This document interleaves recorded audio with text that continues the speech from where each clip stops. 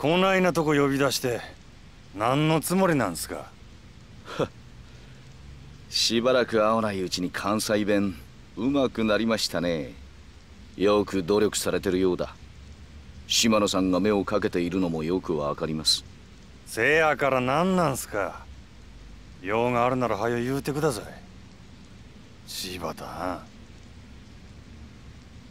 礼服ですか今日は誰かの葬式ですか？いやそれは別に。ああそういえば笹井のとこの冴島も今日は礼服を着て出かけて行ったみたいです。そそうですか。担当直入に言います。今日の上野義治の襲撃。真島さん行かないでください。どうしてそれを？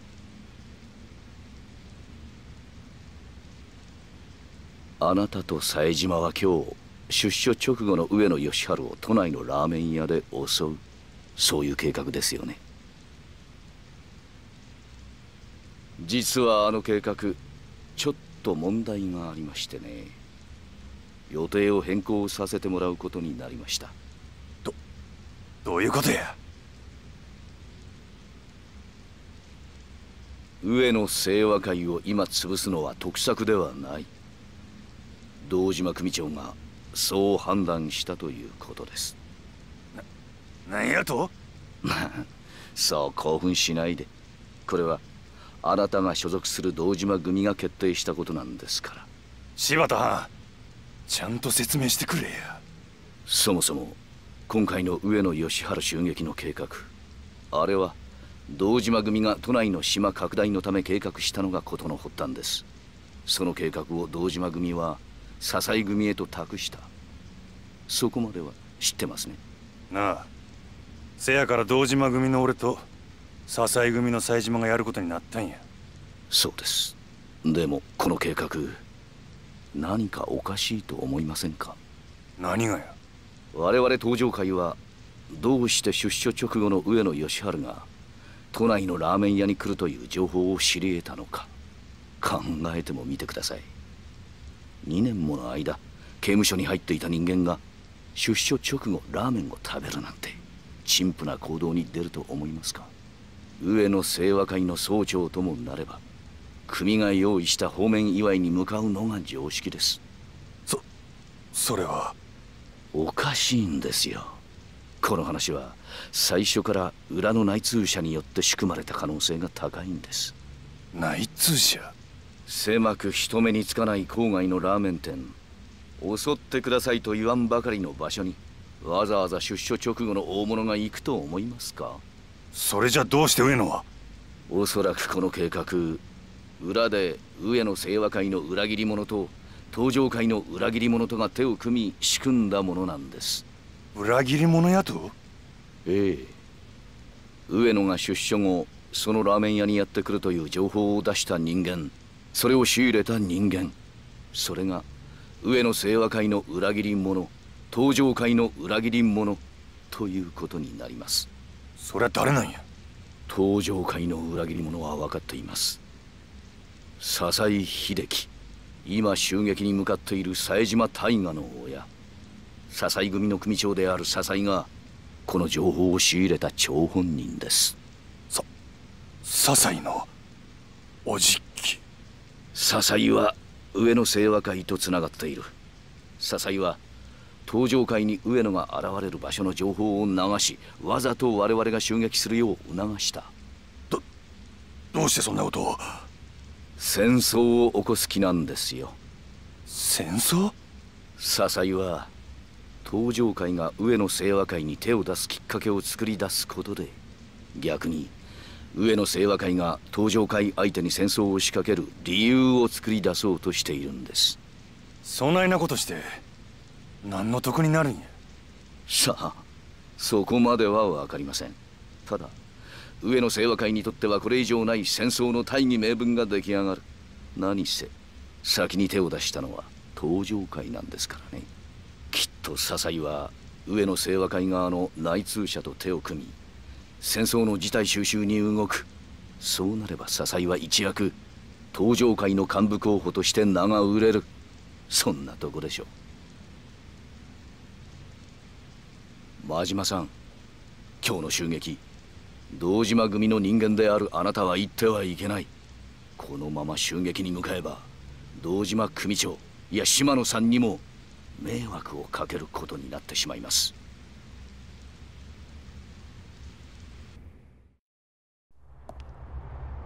真島さん？私の話聞いてますか？兄弟はもう向かってねえや。じゃあ俺はどうしたらええんじゃ？ま真島さん。あんたは俺に兄弟裏切れっちゅうんか！このまま見殺しにせえっちゅうんか！落ち着いて落ち着いて。俺は行く。たとえどんな裏があっても構わへん俺にとって冴島はたった一人の兄弟なんじゃ。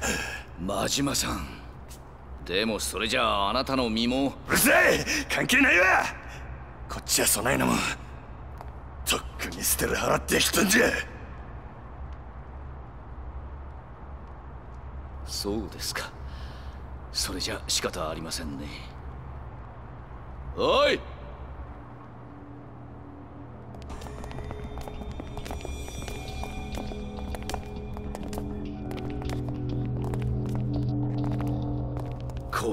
手荒な真似はしたくなかったんですが残念です。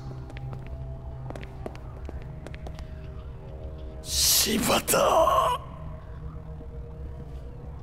あなたにはしばらくの間ここで暮らしてもらいます。柴田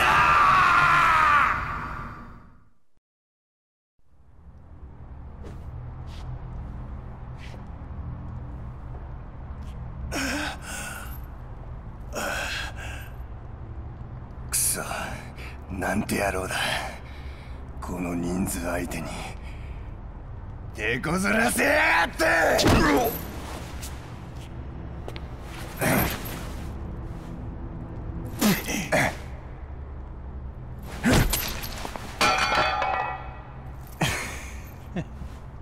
いい根性してるぜ。さすが襲撃を任されるわけだ。いいか。俺たちは親父の命令であんたをここに監禁してるわけだが殺すなとしか言われてねえ。つまりだ暴れたあんたを落ち着かせるためなら多少の傷を負わせても何にも問題ねえってわけだ。例えば目ん玉の一つくらいだったらな。さあ謝れ。泣いて俺に詫びろ。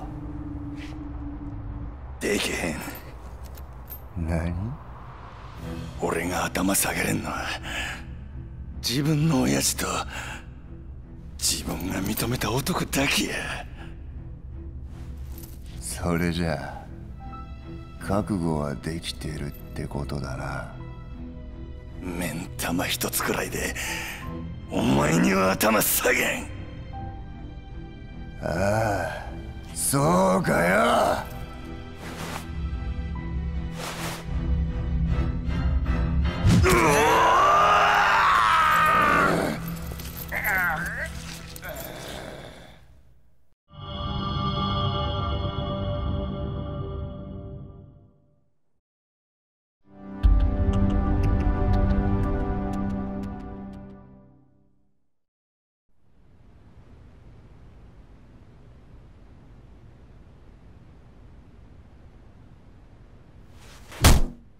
答えろ。よなんでお前あの日スカイファイナンスの前の現場にいたんだ？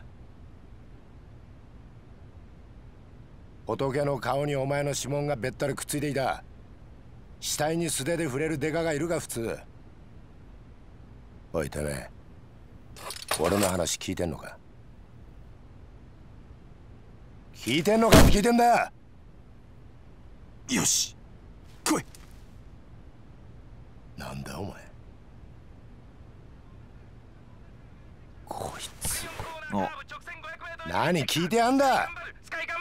て外の方からディープフライてめえこんな時に競馬かたくどうなってんだよ生活安全課よ。まあそう目くじら立てないで。ああ？もういいですか？時間ないんで。時間だ？おい谷村なんすか？一つだけ忠告しておいてやる。一人で何を嗅ぎ回ってるのか知らないが妙なことに首突っ込んでると親父さんの二の舞になるぞ。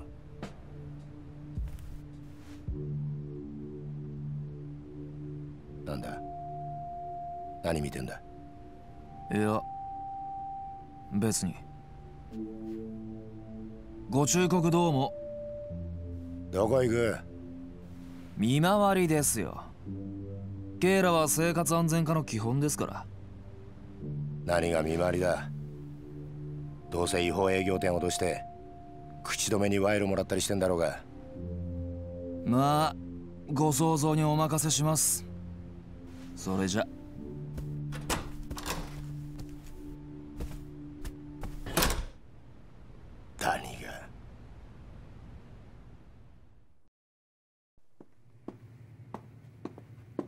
谷村君。ちょっと。谷村君。は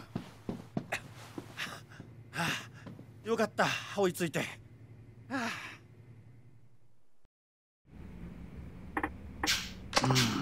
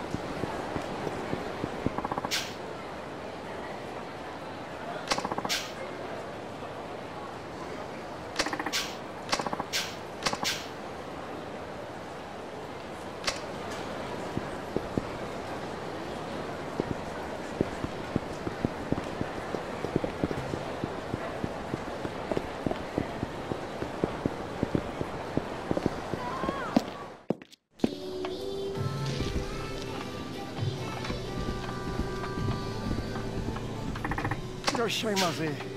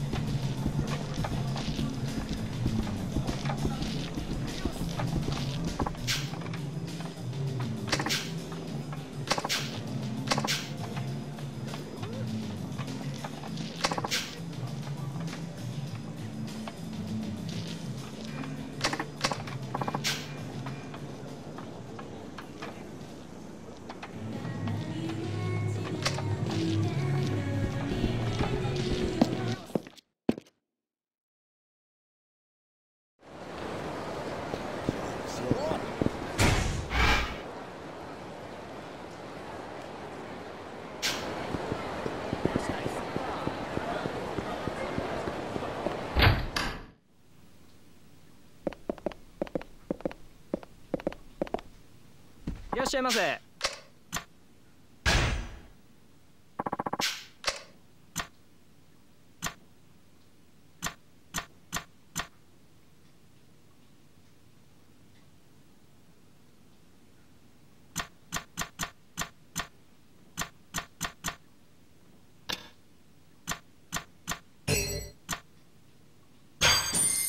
ありがとうございました。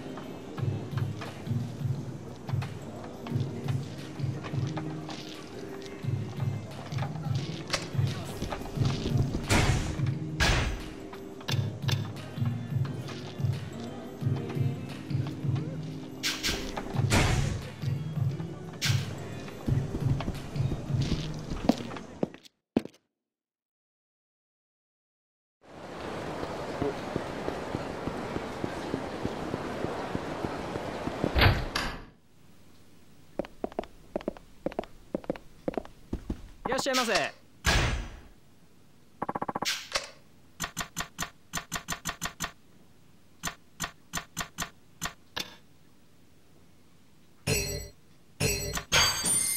ありがとうございました。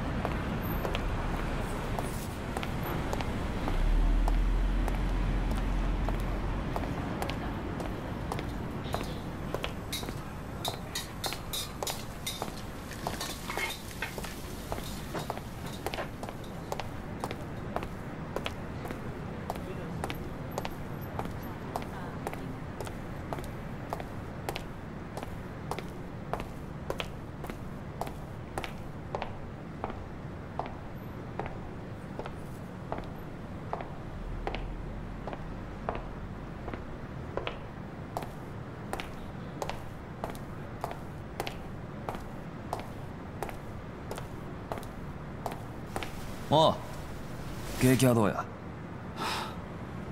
またですか谷村さ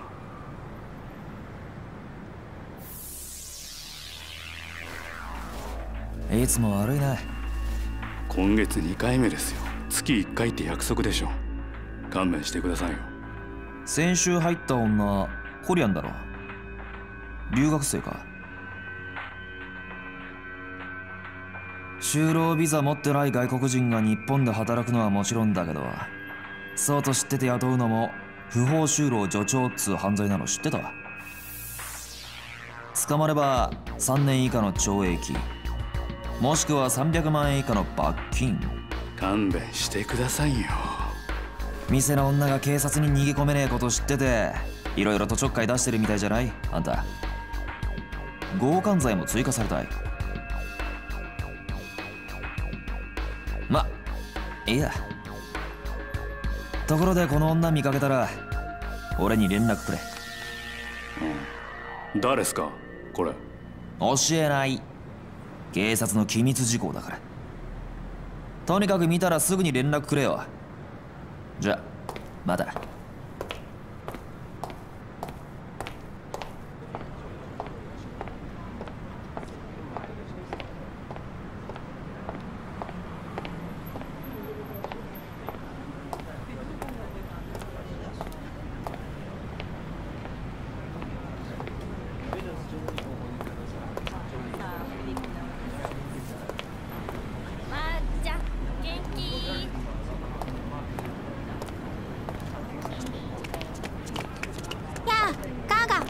你们好吗？改天再陪你们玩。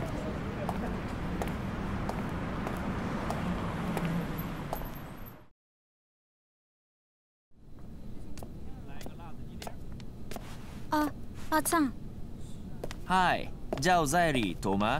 是啊，票被强制送还，孩子怎么办？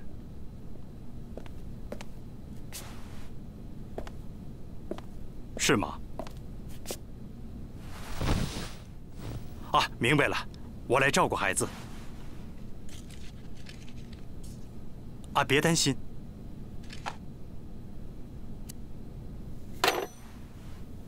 また一人増えるのか。あ父親が韓国に送還されたらしいどうして？先日その父親が交通事故を起こしてなそのまま警察に引っ張られてオーバーステイがバレたらしいそりゃついてないな。子供はまだ5歳うちで面倒見るしかないだろうなその子供の養育費にでも回してくれ。やむるかそれともまた巻き上げてきたのか どっちもかな。まったくお前さんってやつはまあありがたいのは山々だけどな。あまり無理すんなよ。